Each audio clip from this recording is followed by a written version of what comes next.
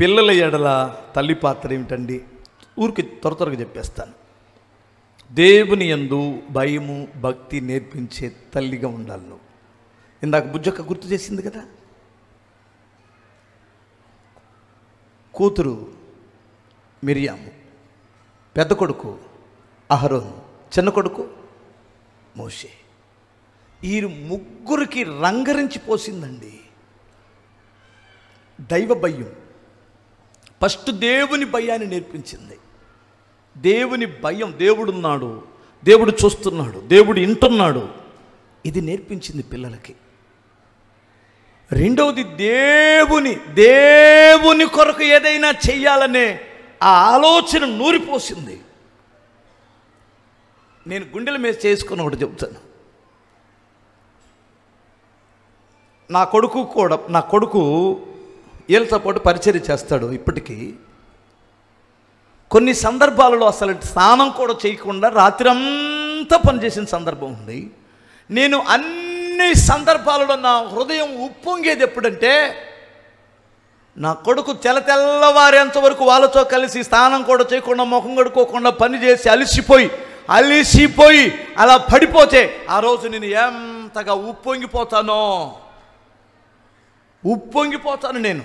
హృదయంలో దేవుడున్నాడు దానికి. ఏ నాడైనా నా కొడుకు దగ్గరికి వచ్చాయి. నువ్వు వెళ్ళి పడుకోరా. చేసేవాళ్ళు చాలామంది ఉన్నారు కానీ. అన్నానా? ఎప్పుడైనా నేను అన్నానా? అనను. ఎందుకంటే నాకు తెలుసు నా దేవుని కొరకు వాడు ఎంత కష్టపడితే అంత పైకి వస్తాడని కొంతమంది తల్లులు ఉన్నారే కొంతమంది తండ్రులు ఉన్నారే ఆడి కొడుకు కానీ చిన్న చాకిరి చెప్తే ఆడు తట్టుకోలేడు. వాళ్ళ బ్రతుకులు కూడా అలాగే ఉంటాయి. చివరికి మీరు కావాలంటే చూడండి. మీరు డేట్ వేసుకొని పెట్టుకొని భవిష్యత్తుని ఎలా ఉంటుందో చూడండి. ఎవడు దేవుని కొరకు కష్టపడేవాడికి ఉంటాడో వాడు దేవుడు దీవిస్తా ఆ తల్లికి తెలుసు ఎక్కువ బెతికి దేవుని సన్నిధిలో కష్టపడిన వాడు లోకములో కష్టపడి బానిస అవుతాడు. దేవునికి లోబడినవాడు లోబడనివాడు లోబడని వాడు దేవునికి లోబడినవాడు లోకములో లోబడిపోతాడు. దేవుని సన్నిధిలో కష్టపడినవాడు లోకములో సుఖపడతాడు.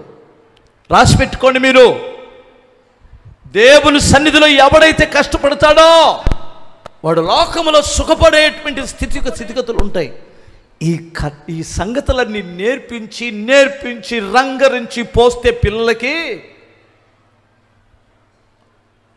ముప్పై లక్షల మందికి నాయకుడుగా ముందు నడిచేవాడయ్యాడు తన కొడుకు. ట్రాన్స్లేషన్ మోషేకి ట్రాన్స్లేషన్ లే అన్నయ్య అన్నయ్య తమ్ముడు వచ్చేవాడు అహరుణ్ హలేలుయ్య ఈ సంగతి ప్రజలకు చెప్పు. సరే సరే వెళ్తున్నా వెళ్తున్నా వెళ్తున్నా అనేవాడు. సీనియర్ ఎవర్రా? మోషేనా అహరోనా? ఎవరా మోషే చెబితే మరి సీనియర్ ఎందుకన్నాడు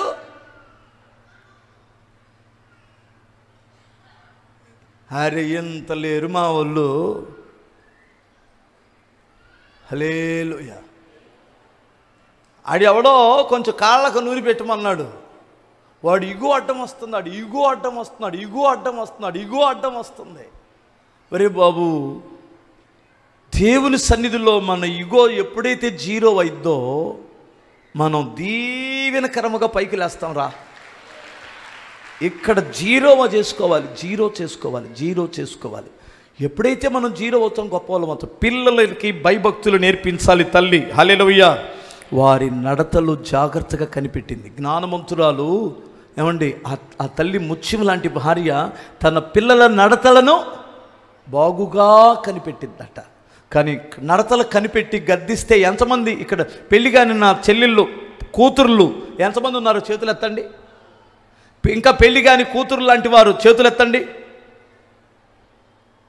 చేతులు ఎత్తాలి మీరు. మేము మీకేమి పెళ్ళి కాని వాళ్ళంటే నేను పెళ్ళి చేస్తానా ఏంటి? ఊరికి ఒక మాట చెప్పడానికి చేతులు ఎత్తమన్నాను నేను.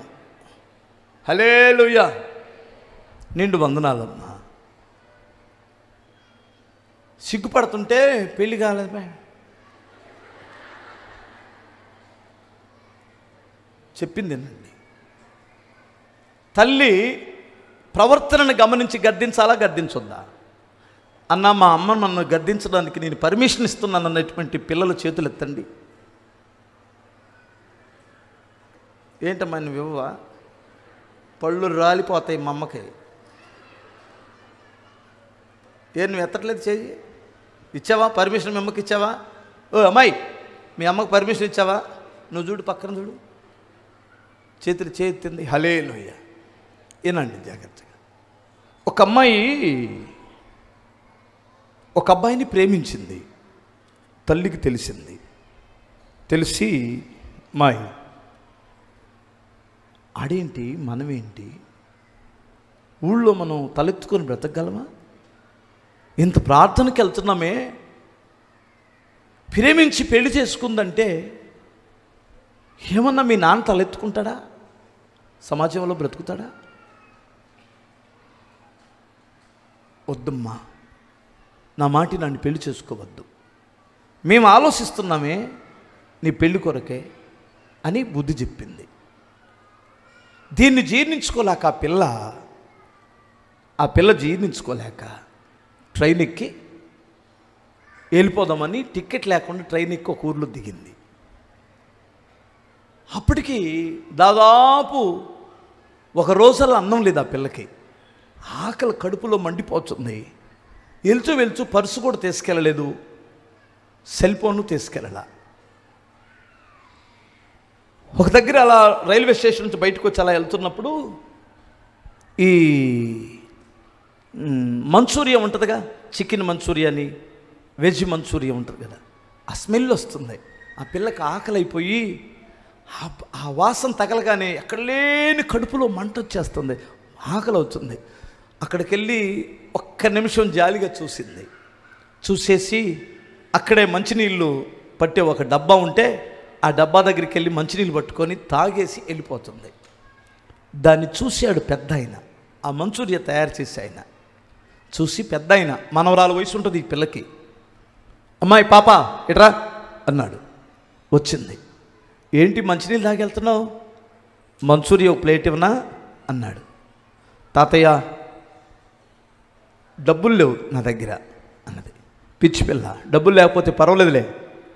నువ్వు ఆకలి మీద ఉన్నట్టున్నావు నీ ముఖం చూస్తే అర్థమవుతుందని గబా గబా గబా మంచూరియా తయారు చేసి అంతా ఇస్తే అపలాచనంగా తినేస్తుంది. అప్పటికి ఒక రోజుల్లో అన్నం లేదు కదూ? తినేస్తూ కళ్ళమటి నీళ్ళు ఇలా చెంపలమట కారుతున్నాయి. ఆయన దగ్గరికి వెళ్ళి ఎందుకు నాన్న ఏడుస్తున్నావు? డబ్బులు లేకపోతే పర్వాలేదులే అన్నాడు. తాతయ్య నువ్వెంత మంచోడివి? నేను అడగలేదు నా దగ్గర డబ్బులు లేవు. నా ముఖం చూసి నా ఆకలి గమనించి నాకు ఉచితంగా భోజనం పెట్టావు. నీ రుణం నేను ఎలా తీర్చుకోగలను? నీకు నిండు కృతజ్ఞతలు తాతయ్య. కానీ ఇలాంటి ప్రేమ మా అమ్మకు లేకపోవడమే బాధకరం అన్నదట. ఏంటమ్మా? ఇంట్లో నుంచి వచ్చేసావా? అవును తాతయ్య. ఎందుకు? నేను ఒక అబ్బాయిని ఇష్టపడ్డాను కాలేజీలో. పెళ్ళి చేసుకుంటానని చెప్పాను. మా అమ్మ వద్దన్నది. ఆమె ఎంత కఠినంగా ప్రవర్తించిందంటే అంత కఠినంగా ప్రవర్తించింది. వాడు వద్దు అని. అందుకని చచ్చిపోదామని రైల్వే స్టేషన్కి వచ్చి ఆ ఊరు ఊళ్ళో ఊరిలో చచ్చిపోతే బాగోదని ట్రైన్ ఎక్కి ఇక్కడ దిగాను. మా అమ్మలాంటి అమ్మ ఎవరికి దొరకకూడదు తాతయ్య అన్నదట ఆయన ఏమన్నాడంటే నానా ఒకసారి నా వైపు చూడు అన్నాడు చూసింది. నేను ఒక్కసారి నీ ఆకలి గమనించి అంత మంచూరియ పెట్టాను నీకు. నాకు థ్యాంక్స్ చెప్పావు కన్నీళ్ళతో. నీ తల్లి మంచిది కాదంటున్నావు. నీ తల్లి తొమ్మిది పది నెలలు తన కడుపులో పెట్టుకొని నిన్ను పెంచింది. చచ్చిపోతావని తెలిసినా డాక్టర్లు కొన్నిసార్లు కంటూ కంటూ చచ్చిపోయే ప్రమాదం ఉందని చెప్పినా నీకు జన్మనిచ్చింది. కొన్ని వేల సార్లు నీకు నోరు లేనప్పుడే నీకు నోరు లేనప్పుడే నీ ఆకలి గమనించి పాలిచ్చి గోరు ముద్దలు తినిపించింది నీ తల్లి. ఇప్పటికీ నువ్వు కాలేజీ నుంచి వచ్చిన వెంటనే నీకు అన్నం తయారు నా బిడ్డ ఇంటికి వచ్చేసరికి అలసిపోయిద్దని వేడివేడిగా తయారు చేసి పెట్టిద్ది. ఎప్పుడైనా నాకు చెప్పినట్లు కన్నీళ్ళతో కాకపోయినా మామూలుగా నీ తల్లి ప్రేమను గ్రహి గ్రహించి అమ్మా నీలాంటి తల్లి నాకు దొరికినందుకు నిండు థ్యాంక్స్ అమ్మా నిండు వందనాలమ్మా అని ఎప్పుడైనా చెప్పావా? చెప్పలేదు తాతయ్య. పరాయివాడినైన నాకు ఒక్క ఒక్క పూట నేను అన్నం పెడితే ఎంత కృతజ్ఞత చూపించావే. కన్న తల్లి ఎన్నిసార్లు నీకు అన్నం పెట్టింది ఎన్ని బట్టలు నీకు తెచ్చింది ఎంత ప్రేమ చూపించింది ఒక్కసారి కాదు అది నీకు మంచిది కాదు అని చెబితే పగబట్టేస్తావా తల్లి మీద? నిజంగా నీ తల్లి మంచిది కాకుండా నువ్వు ఇంత అయ్యావా? ఎన్ని జతలు నీకు బట్టలు తెచ్చింది? ఎంత నీ గురించి ఆలోచించింది? ఎంత కన్నీరు కార్చింది నీ తల్లి? ఎప్పుడైనా థ్యాంక్స్ చెప్పావా? అన్నాడట పెద్ద ఆయన ఇక ఆ అమ్మాయి కళ్ళమ్మ నీళ్ళు కారిపోతూ ఇంటికి వెళ్ళిపోవాలని మరల బండి ఆ- ముసలాయిని ముసలాయన యాభై రూపాయలు ఇస్తే ఛార్జీలకి ఇంటికి వచ్చేసింది వచ్చిన వెంటనే వాళ్ళమ్మ అప్పటికే కళ్ళు ఇంతంతలావును వాసిపోయి ఉన్నాయి ఆ తల్లికి. ఏమైందో బిడ్డ? ఎవరి చేతుల్లో పడిద్దోనని ఇంటికి వచ్చిన వెంటనే వెళ్ళి కౌగిలించుకుందట. అమ్మా నన్ను క్షమించు! అంటుండగానే ఆ తల్లి కడుపు పగిలిపోయినట్లు ఏడుపు వచ్చిందట నువ్వేంటమ్మా నన్ను క్షమించమని అడగడం అని ఆ బిడ్డ జీవితంలో మరలా ఆ తప్పు చేయలేదు.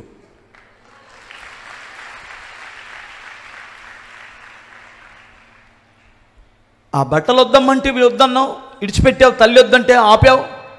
ఆ చెప్పులు వద్దంటే కొనుక్కోలేదు. చేయలేదా నువ్వు? ఆ వస్తువులు వద్దంటే ఆగిపోలేదా నువ్వు? ఆడొద్దంటే ఎందుకు ఆగో ఆడొద్దంటే ఎందుకు ఆగో తల్లిదండ్రులను ఏడిపించి పెళ్ళి చేసుకున్న వాళ్ళు నాకు తెలిసి ఎవరు బాగుపడలా. తల్లిదండ్రులు ఏడ్చి కన్నీళ్ళు పెట్టి పెళ్ళి చేస్తే పెళ్ళి చేసుకుని ఇష్టానుసారంగా పెళ్ళి చేసుకున్న వాళ్ళు ఎవరో బాగుపడలేదు. తల్లిదండ్రులు ఒకవేళ ఇష్టపడి నువ్వు పెళ్ళి చేసుకుంటే తప్పు లేదు. వాళ్ళు ఇష్టపడితే ఇష్టపడేటట్లు హింసించమాక. నువ్వు వాడితో చేస్తావా చచ్చిపోమంటావా? నా శవాన్ని మీరు చూస్తారు సైతానా. ఏంటా బ్లాక్మెయిల్ చేయటం? నీకంటే ఉగ్రవాది నయ్యం. ఏంటా బ్లాక్మెయిల్ చేయడం? కన్నందుకు నువ్వు ఇచ్చే జీతం అదా? కన్నందుకు నువ్వు ఇచ్చే ప్రతిఫలం అది ఆ తల్లిదండ్రులకి. ఆ తల్లి ఆ తల్లి ఆ తల్లి నీకు బుద్ధి చెప్పే అవ- అవకాశం లేదా? అధికారం లేదా? ఆమె నడతలో కనిపెట్టి బుద్ధి చెబుతుంది. ఎంతమంది జీర్ణించుకుంటారు?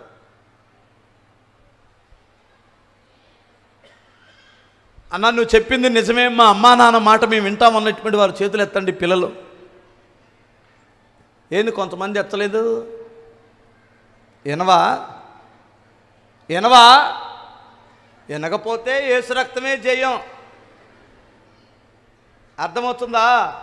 నీ చీదుడికి నీ గోడలు తడిసిపోకపోతే నన్ను అడుగు. ఇప్పుడు కాదు అక్కడికి వెళ్ళిన తర్వాత మా అమ్మ మాట మా నాకు తగ్గ శాంతే జరిగింది. నాకు ఇలాగే జరగాలి. అలాగే జరగాలి మరి. ఎవరిని అడగాలి? నువ్వు వెళ్ళి పోలీస్ స్టేషన్లో పెళ్ళి చేసుకున్నావు పోలీసులను ఆశ్రయించావు అల్లుడా ఏంట్రా నా కూతుర్ని ఎలా చేసావని మీ అమ్మా నాన్న అడిగే అధికారం ఏది? ఇంక పోలీసు వాళ్ళని అడగాలా? చెప్పరేంటమ్మా?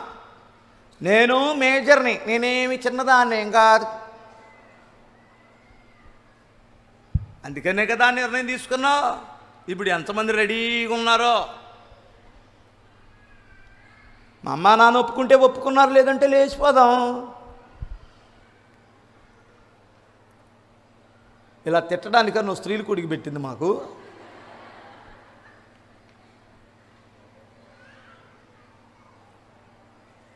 నేను నా బిడ్డ నువ్వు ఇక్కడికి వచ్చావు కనుక నిన్ను కలెక్టర్ చేస్తారమ్మా నా తల్లి. నిన్ను గొప్పదాన్ని చేస్తాడమ్మా పేపు అని చెప్పమంటావా నన్ను? చెప్పమంటావా? అది చెప్పటం తేలికే. ఏం సుఖం? వినండి. స్తోత్రం చెప్పు ఒకసారి. హలేలుయ్యా రెండు చేతులు చెప్పు.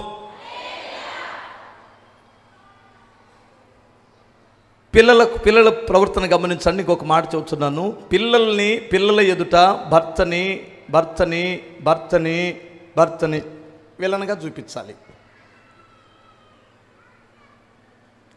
ఏంటి అలా చూస్తున్నారు? నీ పిల్లల దగ్గర నీ భర్తని పెద్ద దుర్మార్గుడిగా చూపించే బాధ్యత నీదే. వాడు ఒక క్రూరుడుగా చూపించే బాధ్యత తీసుకోమ్మా. ఇల్లాలా? మీ నాన్న మామూలుడు కాదు అబ్బాయి. మీ నాన్నతో నేను కాబట్టి ఏగుతున్నా షాకీరి చేస్తున్నా సంసారం చేస్తున్నా. నీ ముఖం మండ. అంత దుర్మార్గంగా చూపించడానికి నీకు మనసు ఎలా వస్తుంది? ఏమనుకోవద్దు ముఖం మండాలని కోపం వచ్చిందా? ఆయన చేసిన ఒకటి అరవై అదో పనులను నేను చెప్ నేను నేను కాదంటలేదు. ఆయన చేసిన వందల మంచి పనులు ఉన్నాయే. పిల్లల కొరకు అన్ని కష్టాలు పడుతున్నాడే అంత చాకిరి చేశాడే. అమ్మ మీ నాన్న లేకపోతే మేము లే మనం లేమమ్మా. ఆయన ఆరోగ్యంగా ఉంటేనే కదా తల్లి మనం సుఖంగా ఉంటాం. మీ నాన్న గబగబా అరిసినా చాలా మంచోడమ్మాయే తాగినప్పుడు తాగినా తాగనప్పుడు నన్ను ఎంత ప్రేమిస్తాడో నా తల్లి. అని ఎప్పుడైనా భర్తని భర్తని పిల్లల దగ్గర ఒక నాయకుడిగా చూపించావా? ఏయ్! మీ నాన్న మీ నాన్న వస్తే కొడతాడు జాగ్రత్త? మీ నాన్న ఒప్పుకోడమ్మాయి ఆయన భయం నేర్పించావా? ఆయన ఏముందిలే? సోదరుడు. నేను చెబుతున్నాను వెళ్ళిపో.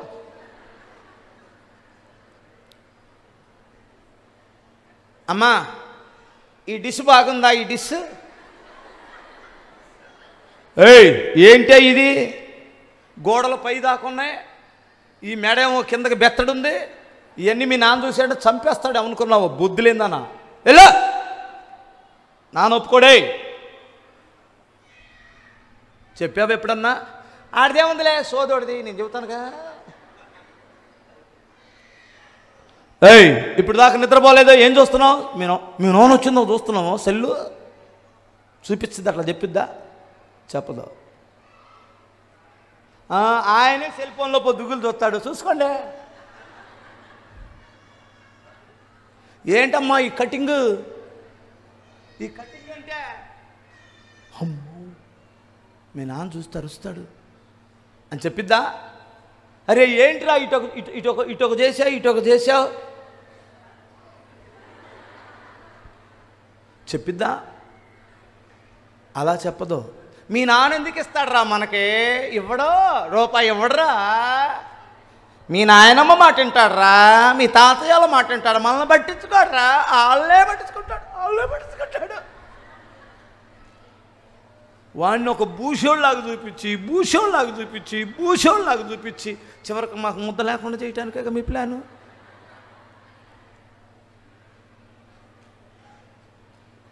ఏంది అందరూ సీరియస్గా ఉంటున్నారు? హలేలుయ్య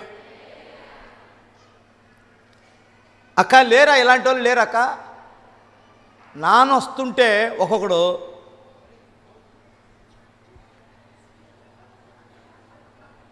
మండుతుంటుందో వాడికి. ఎందుకంటే వాళ్ళమ్మ అలా పెంచిందాన్ని వందనాలమ్మ. అలా పెంచమాకండమ్మా వాడు పెళ్ళి చేసుకొని వెళ్ళిపోయిన తర్వాత నీ దిక్కు ఆడేనమ్మా. ఎవరో? ఆ క్రూరుడేనమ్మా నీ దిక్కు. ఆ దుర్మార్గుడే నీకు ముద్ద పెట్టేది.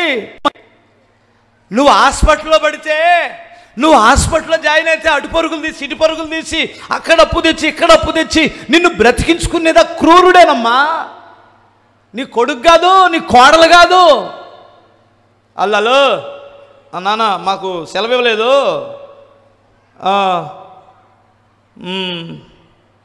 ఏ నువ్వు అనుకున్నట్టు మేము గబాన్ రావడానికి ఏమన్నా ఏమన్నా కూలి పని అనుకున్నావా? జాబ్ ఇక్కడ చేస్తుంది కంపెనీలో సెలవు లేదు. ఆ, చూసుకో. సరేలే చూపిస్తావా? వీడియో కాల్ చేయలే. నువ్వు ఎత్తావా ఎత్తవా అబ్బాయి? ఏ ఖాళీగా ఉంటే ఎత్తానులే చూపించో. ఖాళీగా లేకపోతే ఉమ్. సొన ఇంకా ఆపు. అదే కదరా అబ్బాయి ఫోన్లో? అమ్మను చూద్దు రారా? రే అమెరికాలో ఉన్న అబ్బాయి అంటే నానా ఒకసారి బ్రతుకున్నప్పుడు రావడం ఒకసారి చచ్చిపోయిన తర్వాత రావడం రెండు సార్లు కుదరదు- కుదరదు. ఒకసారి చచ్చిపోయిన తర్వాత వస్తాను నీకేం అర్థమవుతుంది మా బాధలో? నువ్వే కదా అమెరికా పంపించావు. ఇప్పుడు ఒకసారి బ్రతుకున్నప్పుడు రావాలి చూడడానికి రావాలి. నాకు రావాలనే ఉంది నాన్న. మళ్ళీ అక్కడ నుంచి రావడం పోన్ లక్ష రాను లక్ష. మళ్ళీ చచ్చిపోయిన తర్వాత ఇంకోసారి రావాలి. ఇన్నిసార్లు రావడం కుదరదులే కానీ ఒకేసారి చెప్పు. ఏసు రక్తమే. కానీ అమెరికాలో ఉన్న ఆస్ట్రేలియాలో ఉన్న నీ కొరకు పరిగెత్తుకుంటూ వచ్చేది నీ భర్తే.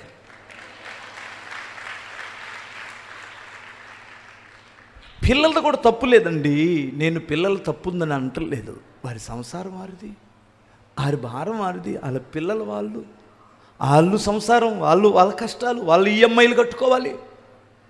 నాకు తెలిసి పిల్లల్ని నేను తప్పు పట్టట్లేదు వాళ్ళ తిప్పలలు పడుతున్నారు. నీ భర్తను నువ్వు భూషోడిగా చూపించావు. దుర్మార్గుడిగా చూపించావు నీ భర్తని. ఇప్పుడు అనుభవిస్తున్నావు. ఇప్పుడు అనుభవిస్తావు. ఇంకా అనుభవిస్తావు.